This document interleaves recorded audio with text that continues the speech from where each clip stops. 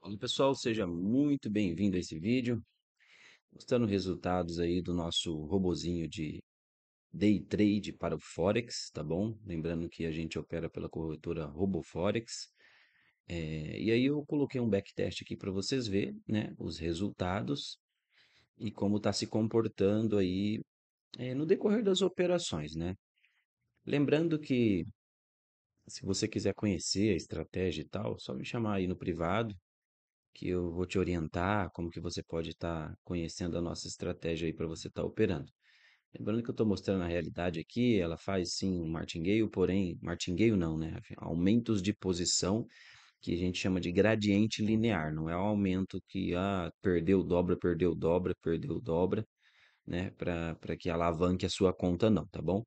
É um robô muito. Eu já tenho o backtest dele desde 2015, tá bom? Então a gente tem dados, por isso que eu estou mostrando isso para vocês. Não é um negócio que quebrou uh, no ano passado, no ano retrasado, não. Passou por pandemia, passou por a guerra na Ucrânia, né? A gente sabe que o euro e o USD são duas moedas muito fortes muito voláteis, né? Que está presentes em todos os, basicamente em todo o mundo, né? Pelo menos uma dessas moedas é, é utilizada para algum, algum fim no, no, no país. Então, devido a isso, a gente tem que fazer um backtest bem minucioso, bem detalhado, para que é, a gente prove realmente que isso dê para a gente é, extrair, né, nem que seja um pouco de dinheiro do mercado, tá bom? Lembrando que os nossos robôs ele tem filtro de notícia, tá?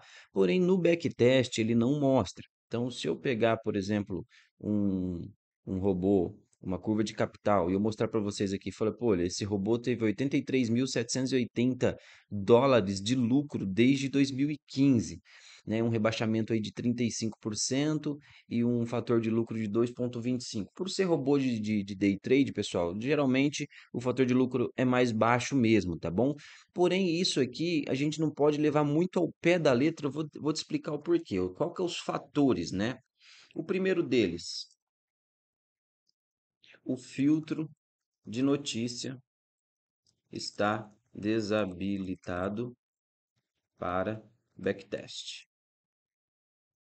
Isso significa que provavelmente a gente teve um pouco mais de segurança nas operações, porque, por exemplo, se o meu robô identificar que agora é 10 horas, né? 10, 10 para as 11. Se a gente identificar que às 11 horas tem uma notícia, eu configuro no meu robô para 15 minutos antes e 15 minutos depois ele não operar. Então, se ele tem ordem aberta, ele vai sair no ponto de cobertura, e se ele não tem ordem aberta, dentro dessa meia hora, que é os 15 minutos antes e os 15 minutos depois da notícia, ele não opera. Então, isso a gente já vai obter diferença aqui, né, nesse resultado, aqui. A gente vai obter diferença no drawdown e no fator de lucro. Então, isso já muda bastante, né? Então, o que eu estou mostrando para vocês é algo realmente que não é uma matemática exata, mas mesmo assim é, a gente deve confiar porque validou, a estratégia foi validada, entendeu? E a gente já está operando com ela, inclusive em conta real, tem pessoas já utilizando, beleza?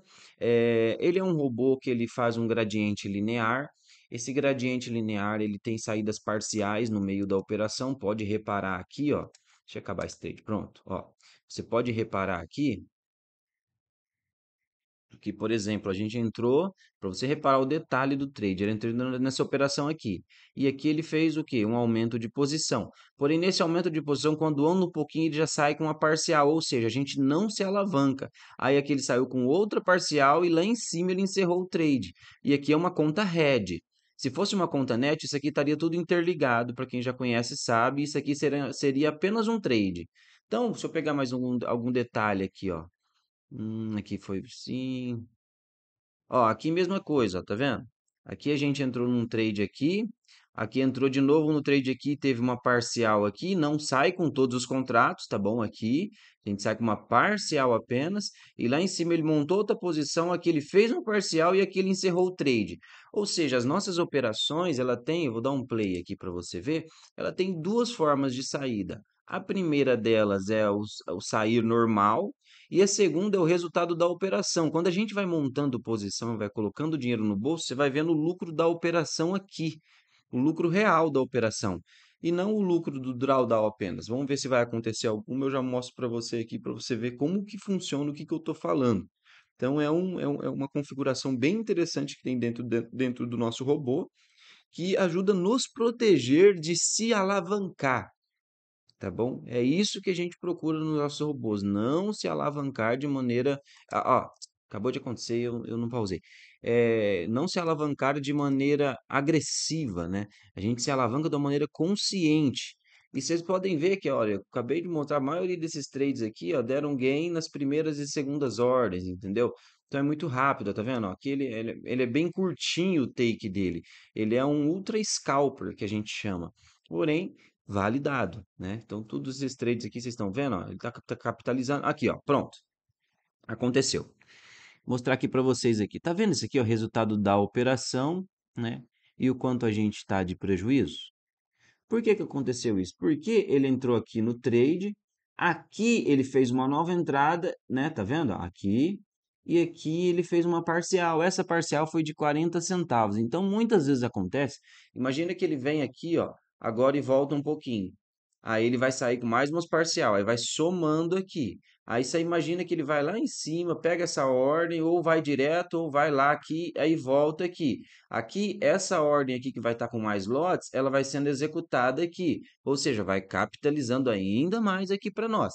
Então, a gente sempre está trabalhando de uma maneira que a gente consiga é, não se alavancar, entendeu? De maneira é, louca de pegar todos os contratos e aí prejudicar a sua conta, entendeu? E sempre tá colocando dinheiro no bolso, mesmo em drawdown, entendeu? Olha lá, pode ver, ó. Muitas das vezes acontece o seguinte também, vamos ver, vamos finalizar esse trade aqui, ó. Ó, voltou, tá vendo, ó? Estamos ganhando os 8 dólares e perdendo 21. Se você está inseguro numa operação dessa, você vem aqui e clica no zerar. Como a gente está em backtest, isso não é mostrar, não consigo fazer isso agora. Ah lá, está lá, vamos lá. Pode ser que ele busque um drawdown maior agora. Olha lá, pronto, executou mais. Olha, olha que legal. A gente saiu do trade daqui, né? Primeira entrada foi aqui. A gente andou tudo isso daqui colocando dinheiro no bolso. Aqui a gente colocou dinheiro no bolso, né? Talvez no meio desse candle teve mais operações. Aqui a gente colocou dinheiro no bolso. E aí, se você falar assim, tipo, aqui agora ainda tá legal, né? Estamos ganhando 3,50 na operação e já acumulamos 26. Então estamos ganhando aqui 29 e, e, e 28, 29, 30 dólares aqui.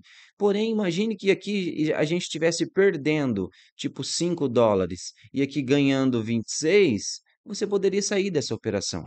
Por esse robô ser um robô de day trade, você pode fazer o quê? Ah, não, beleza, estou satisfeito. 25 aqui, estou perdendo 5 e tá show. Eu faço isso muito.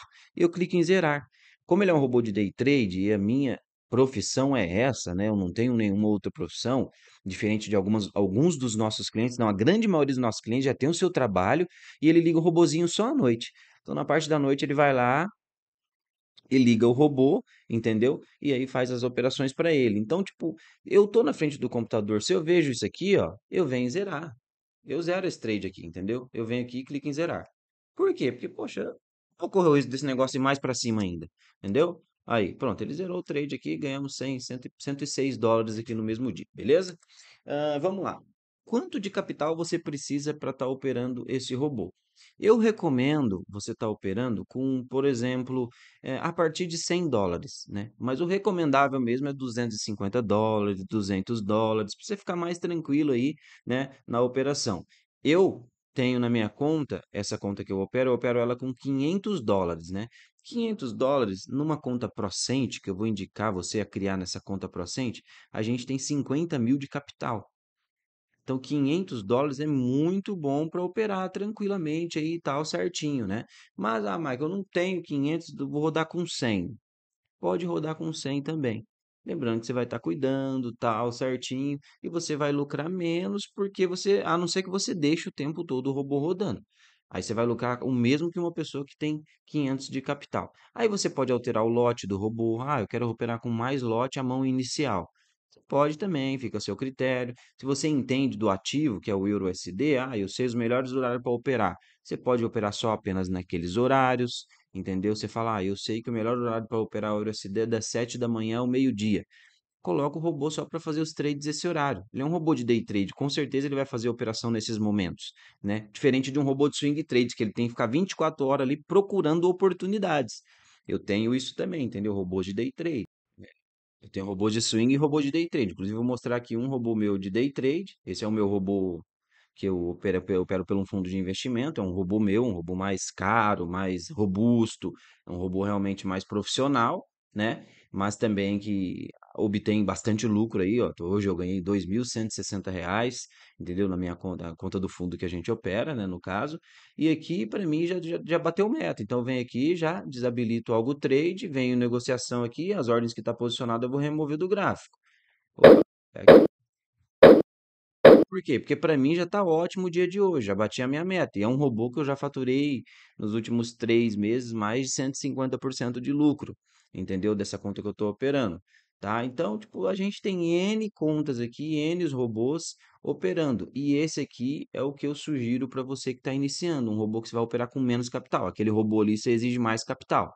É mini índice, vai mais capital, não tem conta procente, etc e tal, tá bom? Então, se vocês quiserem conhecer a estratégia, tá operando com ela, é necessário ter conta na, na RoboForex, tá legal? É o que eu oriento, porque tá tudo validado por lá, a segurança que eu tenho lá, já indico o pessoal lá já tem muito tempo.